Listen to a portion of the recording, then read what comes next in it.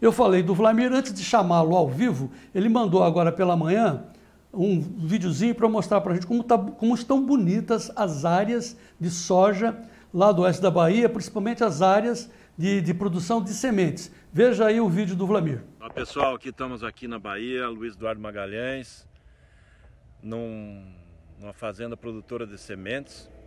E agora nós estamos vendo aqui, a, depois da chuva, né, houve uma recuperação muito grande da qualidade das lavouras. E agora melhorou muito e agora é enchimento do grão, né? Então vamos mostrar aqui para vocês o que aconteceu aí nesses últimos dias. O movimento e o volume de carga aí que começou a aparecer e os grãos que vai encher, né? Olha a situação dessa soja aqui, ó. Olha aí as vagens, mais um aqui, ó. Abrindo aqui, ó. Olha o volume de vagens. Aqui tem um, um, um visual aí de toda a área. São milhares de hectares. No fundo lá tem alguns milhares de hectares de milho também. E agora com essas chuvas aí garantiu aí a produção de sementes, né? Isso que é a semente que vai abastecer a safra do Brasil agora de 2021-22 para a gente passar aí de 39 milhões e meio, talvez 40 milhões de hectares que vão ser plantados em 2021-22 e precisa muita semente. Aqui está saindo semente, João, e de alta qualidade. Muito bem, então vamos falar com ele. Vamos ao vivo. Então, primeiramente, a vinheta do Vladimir, Minuto da Soja no ar.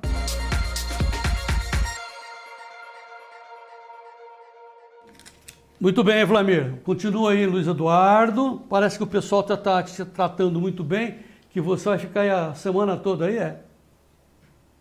É, boa tarde, João. Boa tarde a todos. Exatamente, João. Estão tratando nós aqui. Vamos virar baiano agora, né? Vamos ficar por aqui. tá bom.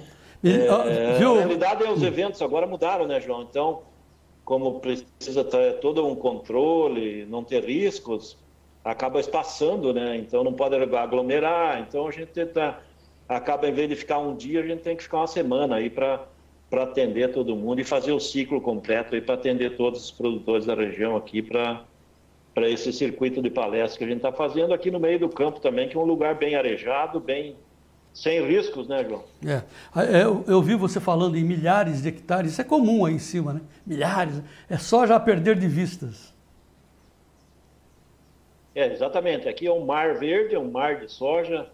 Olhando para todos os lados, é aquele volume gigantesco. A Bahia já está com mais de 2 milhões de hectares aí de áreas de soja, né? Então, é, é, um dos grandes celeiros do Brasil aí, é, chama Bahia, né? Então, tá. Isso se a gente voltar aí uns 30, 40 anos atrás, era um deserto, né? Um cerradão, não tinha nada e, e hoje é uma fábrica de ouro. E outra coisa, hein, Vladimir, você falou em sementes, ou seja, uh, também o, o, clima foi muito bom para a formação de sementes de qualidade, como lá na Petrovina, eu chequei agora de manhã também, lá na Serra da Petrovina, em Mato Grosso, parece-me, você vai me confirmar, que a safra do ano que vem vai ter muito boa qualidade, é isso? É, exatamente, João. Como nós vamos crescer, já dá um indicativo que esse ano nós tivemos 38 milhões e meio de hectares e a nova safra, no ritmo que está indo, ela tem grande chance de chegar a 40 milhões de hectares. Nós precisamos de muita semente de alta qualidade para fazer toda essa área e para fazer uma safra cheia, né? Porque o produtor começa, o primeiro ponto de sucesso dele é uma boa semente. Então, a largada está numa boa genética, numa boa qualidade. E aí as empresas estão correndo atrás para produzir sementes de alta qualidade para conseguir que o produtor aí continue evoluindo em produtividade de produtividade e qualidade final aí para atender o mercado mundial, que é muito comprador e não consegue atender, né? O mercado está faltando produto. Né? Tá, antes de falar de mercado, só para registrar que na Bahia, quem escreveu para a gente foi o Matheus Santos, está ligado? Ele está dizendo que choveu, foi na cidade de Guanambi, sudoeste da Bahia, divisa com o norte de Minas, choveu bem de madrugada e já está formando chuva novamente, viu, Vlamir? Como é que está aí? Olha, aqui também agora começando a carregar as nuvens, eu acredito que lá para as quatro da tarde deve despejar mais uma irrigação aqui.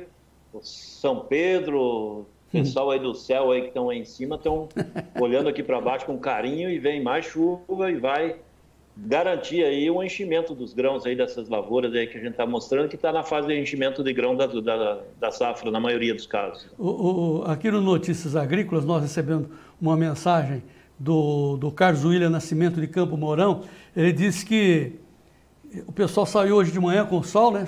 Saiu, o pessoal foi para a lavoura. Diz ele que muita gente chorou de ver o estrago que aconteceu do excesso de umidade nas lavouras de soja, Vlamir. Isso. É, a questão é que o, o quadro das primeiras lavouras do Paraná, que é o caso aí de Camorão, região no, norte, noroeste, ela pegou muita chuva, né, João? Então tem muito brotado. Esse, yeah. Essas primeiros 10% da safra do Paraná, ela além de ter grandes perdas na produtividade, ela vai ter grande queda na qualidade desse grão. E a maior parte desse grão aí não vai dar padrão de exportação, então ele vai ficar para demanda interna, para mistura com soja de melhor qualidade e para fazer ração para consumo nacional, né? Porque na exportação acaba não passando no, no, no, padrão aí que é os contratos, né, João? Pois é, e o mercado está reagindo a isso. Deixa eu mostrar primeiramente um, um, destaque do Notícias Agrícolas do mercado de soja. Na sequência você comenta. O Notícias está dizendo o seguinte, que a soja opera com leves baixas em Chicago.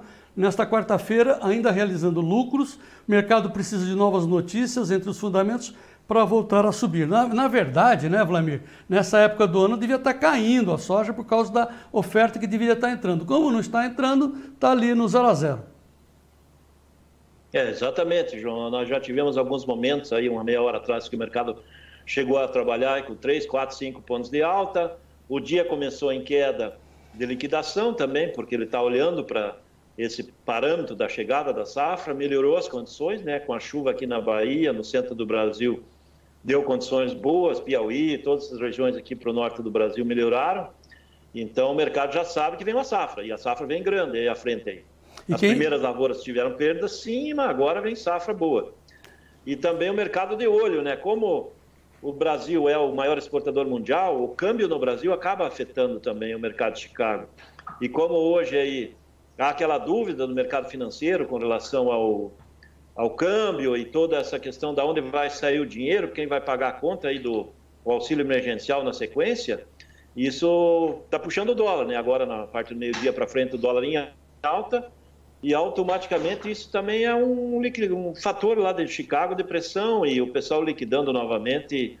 Mercado muito técnico, e começa a esbarrar aí, que nem a gente tem comentado, o 13,80 que nós tivemos batendo nos últimos dias é um limite de alta no momento precisa de notícia nova para furar. E quando ele volta aí a 13,40, 13,30 e pouco, ele começa a bater no fundo do chão. No, e por enquanto ele não tem muito espaço, que seria o momento do mercado estar tá caindo, porque a safra está chegando. Mas ele cai um pouco e aí some os vendedores, não tem vendedor nos Estados Unidos, e obriga o mercado a se recuperar um pouco e trabalhar nessa janela aí. Ele está trabalhando patinando, né? Patinando um pouco para cima, um pouco ele desce, um pouco para cima, e assim segue nesse momento e a semana vai caminhar nessa linha. Agora, olha, presta atenção nessa imagem que nós vamos destacar aqui do Notícias Agrícolas, produzida pela Pátria Investimentos. Olha aqui, ó. É, soja, fluxos de navios da China para o Brasil é intenso. O line-up está próximo de 11 milhões de toneladas. É, é, veja a foto, é todas essas pontinhos verdes saindo da China, vindo para o Brasil. Eles não querem saber, eles vão buscar os contratos. Só que você já antecipou, né, Vladimir, que esses navios não vão encontrar soja, porque ela não está sendo colhida. Então eles vão levar milho, é isso? Vladimir? Oh, cadê o Vladimir? Olha, João, a maioria ah. desses navios vão ter a, provavelmente... Oi, João. Sim. Estou aqui, João. Vamos lá. Fala, João. Não, é a história dos navios aí. Nós estamos a maioria, Sim. Com relação aos navios aí, vai ter alguns navios que vão ter que ficar esperando aí para a soja, mas uh, a gente está vendo já no Mato Grosso aí, a semana vai começando aí com andando com colheita em ritmo melhor, a semana que vem deve ter muita área sendo colhida, e aí depois do dia 20 de, de fevereiro nós vamos ter colheita em ritmo forte.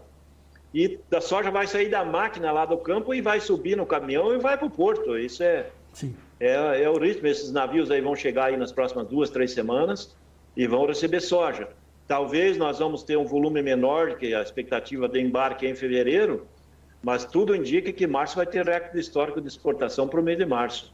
Tá. Março vai passar de 10, 12 milhões de toneladas embarcadas, com certeza, e vai ser recorde para embarque de março, em função de que todo esse volume de navio que está chegando e os novos que vão chegar vão receber muita soja, mas vai ser em março, né? Vai ter um atraso de duas semanas na média, provavelmente.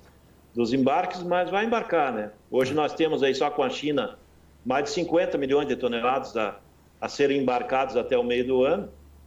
E nós temos aí mais de 60 milhões de toneladas vendidas também para embarcar até o meio do ano.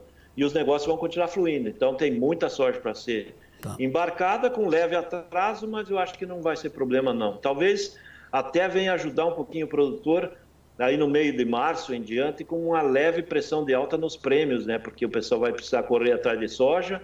Muitos navios ainda não foram totalmente fechados, vai precisar de alguns volumes a mais. E abre uma brecha para uma pressãozinha positiva no prêmio, né? Então, Chicago pode até não mudar, mas o prêmio pode melhorar um pouco em função da forte demanda que vai ter no, nos portos, né?